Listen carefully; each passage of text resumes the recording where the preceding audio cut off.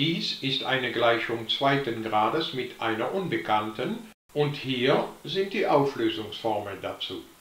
Zuerst müssen wir die Werte von a, b und c sicherstellen.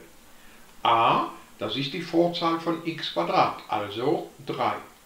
b, das ist die Vorzahl von x, also minus 2. Vorsicht, nicht das Minus vergessen. Und c ist der unabhängige Term, also 5.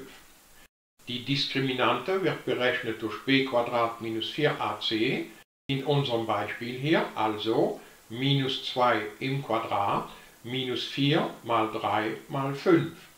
Aber das macht 4 minus 60. Wir brauchen den Wert nicht zu berechnen, um zu sehen, dass diese Zahl streng negativ ist.